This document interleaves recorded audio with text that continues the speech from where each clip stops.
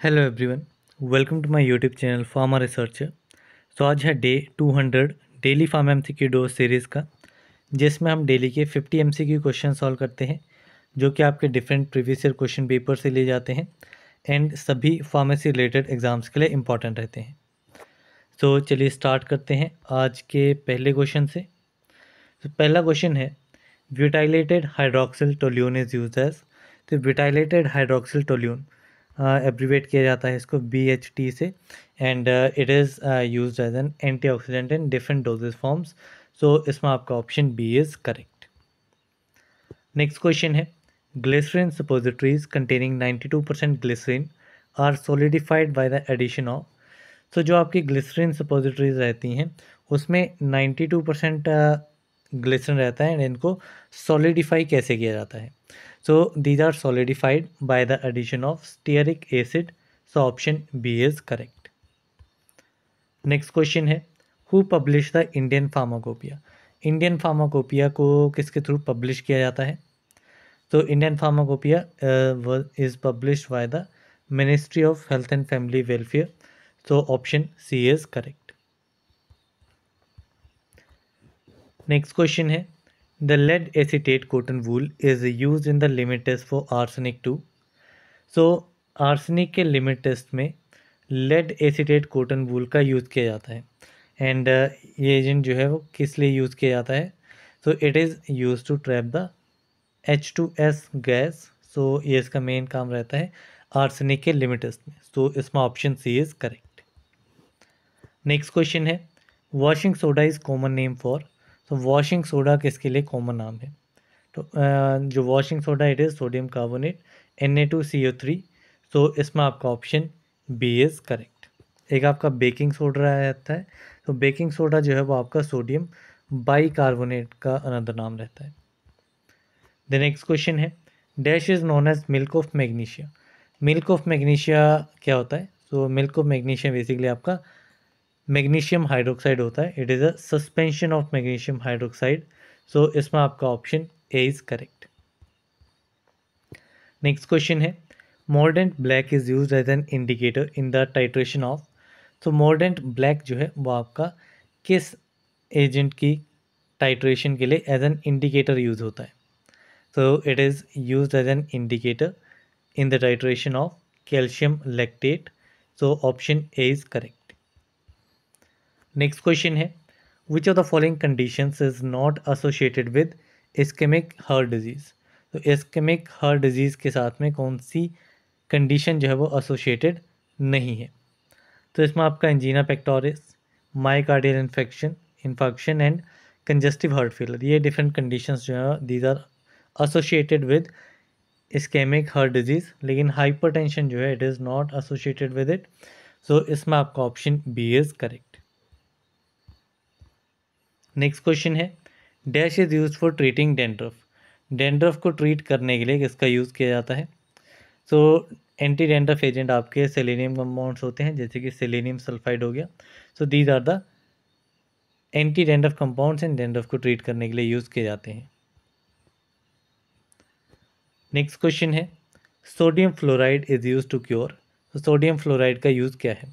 तो sodium fluoride is use as a dental caries agent so option D is correct next question है. Sodium metal is stored in so sodium metal की storage कैसे की जाती है?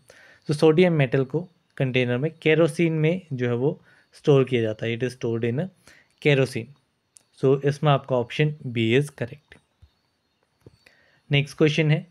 Tetracycline should not be given with तो tetracycline को किस agent के साथ नहीं दिया जाना चाहिए? So tetracycline should not be given with milk, aluminium hydroxide gel, wheat root. Uh, so ये आपका चिलेशन कॉम्प्लेक्स फॉर्मेशन कर देते हैं। सो so, इसमें आपका option D all of the above is correct next question है। Keller Killiani test is specified for तो Keller किलियानी test किसके लिए uh, होता है? आइडेंटिफिकेशन टेस्ट तो it is for test for cardiac glycosides for example digitalis. तो digital इसके लिए आपका केलर क्लियानी टेस्ट जो है वो आइडेंटिफिकेशन टेस्ट रहता है। नेक्स्ट क्वेश्चन है which work drug is use as cardiotonic कौन सा वार्क ड्रग जो है वो एज अ कार्डियोटॉनिक यूज़ होता है? So this drug is Arjuna so इसमें आपका option C is correct next question है dash is botanical source of Indian senna Indian senna का बोटेनिकल सोर्स क्या है? तो इंडियन सेना आपका ड्राइड लीफलेट पार्ट से ऑप्टेन होता है। किसके? Of the cassia angustifolia so इसमें आपका ऑप्शन ए जो है वो करेक्ट आंसर रहेगा। नेक्स्ट क्वेश्चन है। Combined umbelliferone test is positive for तो कंबाइंड अम्बेलीफेरोन टेस्ट किस ड्रग के लिए पॉजिटिव रहेगा? सो फेरूलिक एसिड एंड आपका अम्बेलीफेरोन ये आपके किसके केमिकल कंस्टेंट्स होते हैं? तो these are the chemical constants of asafoetida and इन्हीं इस एसाफोइटिडा के लिए ही कंबाइंड अम्बेलीफेरोन टेस्ट जो है वो पॉजिटिव आ रहता है। एसाफोइटिडा जो है वो आपका सिंपल टर्म्स में हींग कहा जाता है या फिर इसको डेविल्स डंग भी कहा जाता है। नेक्स्ट क्वेश्चन है क्लोफिब्रेट रिड्यूसेस द क्लोफिब्रेट जो है आ, ये आपका एंटी हाइपरलिपिडेमिक ड्रग है and it reduces the elevated triglyceride levels so इसमें option C is correct next question है dash is a major lipid constant of the cell membrane cell membrane के major lipid constant कौन कौन से हैं? तो major lipid constant जो है, ये आपका रहता है फॉस्फोलिपिड सो इसमें आपका option A is correct next question है colour index indicate so colour index जो है वो क्या इंडिकेट करता है? तो कलर इंडेक्स जो है it indicate the relative amount of haemoglobin present in single RBC ठीक है, सिंगल आरबीसी में कितना अमाउंट हेमोग्लोबिन का प्रेजेंट है, वो आपका रिप्रेजेंट किया जाता है by the colour index so option B is correct next question है नेलोक्सोन इज़ अ मॉर्फिन तो नेलोक्सोन और मॉर्फिन का क्या रिलेशन है? तो नेलोक्सोन जो है, वो मॉर्फिन का एंटागोनिस्ट है, ठीक है? अगर मॉर्फिन पॉइजनिंग हो जाती है तो उस केस में एंटीडॉट जो है, वो आपका नेलोक्सोन यूज़ किया जाता है। नेक्स्ट क्वेश्चन है vitamin tablets are generally formulated as तो जो आपकी विटामिन टैबलेट्स होती हैं ये in the form of chewable tablets की फॉर्म में इनको फॉर्मुलेट किया जाता है so option D is correct next question है ciprofloxacin is a so ciprofloxacin जो है ये आपका एक क्यूनोलोन ड्रग है सो so, इसमें आपका ऑप्शन बी इज़ करेक्ट यहाँ पे I think it is quinoline होगा एंड यहाँ पे क्यूनोलोन होगा। तो यहाँ पे आपका क्यूनोलोन कैटेगरी का ये ड्रग रहता है। नेक्स्ट क्वेश्चन है digitalis is given to the patient suffering from तो डिजिटलिस जो है वो उन पेशेंट्स को दिया जाता है जो कि हार्ट कंडीशंस के साथ सफ़र कर रहे होते हैं जैसे कि कंजस्टिव हार्ट फेलियर हो गया लेफ़्ट वेंट्रिकुलर फेलियर या फिर एट्रियल फ्लटर तो ये डिफरेंट कंडीशंस में जो है वो आपका डिजिटलिस ड्रग का यूज़ किया जाता है। सो so, इसमें आपका option D all of the above is correct. Next question है डायफ्रैगम इज़ अ तो डायफ्रैगम क्या है? सो so, ये आपके एक स्केलेटल मसल है सो so, इसमें आपका option A is correct next question है which of the following is the function of plasma proteins plasma proteins का फ़ंक्शन इनमें से कौन सा है? So the function of plasma protein is to regulate regulation of blood volume to regulation of blood pressure and helps in coagulation process तो ये different आपके functions रहते हैं इसके प्लाज्मा प्रोटीन्स के तो इसमें आपका option D all of the above जो है वो करेक्ट आंसर रहेगा। नेक्स्ट क्वेश्चन है which of the following bone have no bone no marrow cavity ठीक है किस बोन में मेरो कैविटी नहीं होती है? So this bone is scapula so इसमें आपका option A is correct next question है isoniazid induced peripheral neuritis can be prevented by administration of तो जो आपकी आइसोनियाजिड इंड्यूस्ड पेरिफेरल न्यूराइटिस है, इसको कैसे प्रिवेंट किया जा सकता है? So it can be prevented by the administration of vitamin B six that is pyridoxine next question है the ointment base of mineral origin is so mineral origin का ointment base कौन सा है? तो this base is paraffin wax it is of mineral origin so option D is correct next question है. The Pharmacy Council of India is reconstituted every dash year जो आपकी PCI है, जिसको सेंट्रल काउंसिल भी कहा जाता है. So pharmacy council of India कितने सालों के बाद दोबारा से रिकन्स्ट्रक्ट होती है? So it is reconstructed every five years ठीक है. सो इसमें option D is correct next question है. Which of the following schedule gives standards of mechanical contraceptive mechanical contraceptive के स्टैंडर्ड्स जो हैं, वो किस शेड्यूल में दिए गए हैं? So these are given in the schedule R so इसमें आपका option D is correct next question है under which section of Indian penal code the drug inspectors are appointed so Indian penal code के किस section के under drug inspector को appoint किया जाता है? तो अपॉइंटमेंट जो है वो आपकी सेक्शन ट्वेंटी वन के अंडर होती है। तो इसमें आपका option C is correct.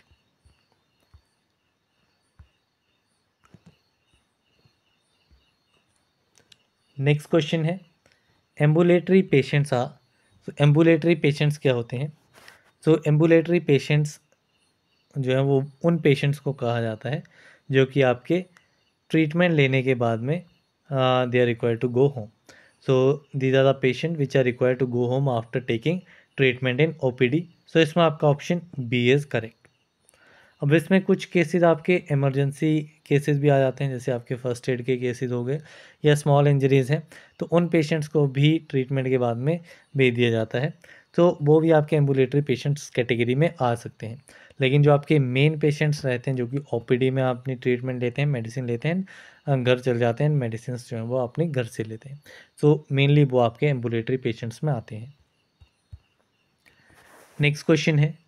Which one of the following is a genetically determined adverse drug reaction genetically determined adverse drug reaction कौन सा है? So this is known as idiosyncrasy it is the genetically determined adverse drug reaction so option d is correct next question है which of the following can be used for counteraction of for poisoning caused by organophosphorus compounds तो organophosphorus compound की वजह से जो poisoning होती है उसको counteract करने के लिए मीन्स इसके लिए एंटीडॉट कौन सा लगता है तो ऑर्गेनोफॉस्फोरस पॉइजनिंग के लिए आपका प्रेलिडॉक्सिम ड्रग जो है वो आपका यूज़ होता है as an antidote so so, इसमें आपका option C is correct if it is not available then आपका ड्रॉप इन भी इसमें यूज़ किया जाता है. नेक्स्ट क्वेश्चन है. Which one is use in radiation sterilisation radiation sterilisation में किस टाइप की रेडिएशंस का यूज़ किया जाता है? तो इसमें आपकी गामा रेज जो है ये आपकी यूज़ होती हैं as a radiation steriliser so option C is correct next question है. Oral hypoglycaemic agent which is thiazolidinedione derivative is so कौन सा ओरल हाइपोग्लाइसेमिक एजेंट एक थायाजोलिडीन डायोन डेरिवेटिव है? So this agent is pioglitazone so इसमें आपका option C is correct next question है. Which of these substances is use as anticoagulant इनमें से कौन सा सब्सटेंस जो है वह एज एन एंटीकोगलेंट यूज़ होता है? तो this substance is sodium citrate so so, इसमें आपका option A is correct next question है. The shoulder of the cylinder of carbon dioxide is painted with so carbon dioxide का carbon dioxide gas का जो cylinder रहता है इस type से सो so, इसका जो शोल्डर है ये आपका किस कलर से पेंटेड रहता है? So it is painted with grey colour so option D is correct next question है. Dash is use as anti convergent anti convergent drug जो है वो कौन सा यूज़ किया जाता है? तो इसमें आपका फिनोवार्बिटोन जो है it is use as a anti convergent drug so इसमें आपका option B is correct next question है common side effect of non steroidal anti inflammatory drug is so नशे ड्रग्स का कॉमन साइड इफ़ेक्ट क्या है? So these drugs can cause ulcer so, these are the main side effects of NSAIDs तो option D is correct इसलिए नसेट्स को peptic ulcer में नहीं दिया जाता है। नेक्स्ट क्वेश्चन है Parkinson occurs due to so Parkinson जो है, वो क्यों अकर करता है? ठीक है, कि क्या रीज़न है पार्किंसन होने का? सो डिप्लीशन ऑफ़ डोपामाइन ठीक है बॉडी में डोपामाइन डिप्लीशन जो है इसकी वजह से पार्किंसन होता है, इसीलिए लीवोडोपा प्रोडक्ट जो है वो दिया जाता है। लीवोडोपा प्रोडक्ट दिया जाता है, जो कि आपका प्रोडक्ट है इनएक्टिव फॉर्म है एंड ये आपका ब्रेन में जा के कन्वर्ट होता है डोपामाइन में एंड इस डोपामाइन की रिक्वायरमेंट को पूरा कर देता है। नेक्स्ट क्वेश्चन है mother clove is so mother clove क्या है? तो mother clove is a fruit so इसमें option A is correct next question है natural fibre gives test for sulphur is तो कौन सा फाइबर जो है वो टेस्ट फॉर सल्फ़र देता है। So this fibre is wool so option A is correct next question है dash leave is to be dried at sixty degree Celsius immediately after collection तो किस लीव किन लीव्स को कलेक्ट करने के तुरंत बाद सिक्सटी डिग्री सेल्सियस पे ड्राई किया जाता है? ठीक है सिक्सटी डिग्री या इससे कम पे। So these are the digitalis leaves digitalis purpurea से ऑप्टेन होते हैं। सो so, इसमें आपका option A is correct next question है। Dash is the carbohydrate containing drug obtain from marine source कौन सा एक कार्बोहाइड्रेट कंटेनिंग ड्रग है जो कि मेराइन सोर्सेज से ऑप्टेन होता है? सो this drug is agar so option A is correct next question है। Dihydrofolate reductase is inhibited by so dihydrofolate reductase जो है वो आपके किससे इनहिबिट होते हैं। सो मीथोट्राइग्रेट पेरीमीथामिन ट्राईमिथोप्रिम ये तीनों ही ड्रग जो है, ये आपके फॉलिक एसिड एंटागोनिस्ट होते हैं एंड आपके डाईहाइड्रोफोलेट रिडक्टेज एंजाइम को इनहिबिट करते हैं। तो इसमें आपका option D all of the above is correct next question है dash is use as an adulterant of benzoin. Benzoin का अडल्ट्रेंट कौन सा है? So the adulterant of benzoin is colophony so option B is correct next question है। Dash is use as a mosquito repellent इनमें से mosquito repellent कौन सा drug रहता है? सो पायरेथ्रम पायरेथ्रम जो है it is use as an mosquito repellent so option C is correct next question है। Selective inhibition of serotonin uptake is by so basic term है सेलेक्टिव सीरोटोनिन रीअपटेक इनहिबिटर जो है वो कौन सा है? ठीक है, ये आपके एंटी डी परसेंट कैटेगरीज में आते हैं ड्रग्स तो इसमें आपका फ्लूक्जेटिन जो है it is a selective serotonin reuptake inhibitor so इसमें आपका ऑप्शन बी इज़ करेक्ट इसी क्वेश्चन के साथ में हमारे fifty M C Q question complete होते हैं. पी डी एफ्स इन क्वेश्चन की अवेलेबल नहीं है अभी चैनल के थ्रू सो so, बाकी आप डेली क्वेश्चंस को प्रैक्टिस कर सकते हैं यहीं पे। क्वेश्चन को अंडरस्टैंड कर सकते हैं जो आपके मोस्ट रिपीटेड होते हैं। क्वेश्चंस काफ़ी बार रिपीटेड रहते हैं।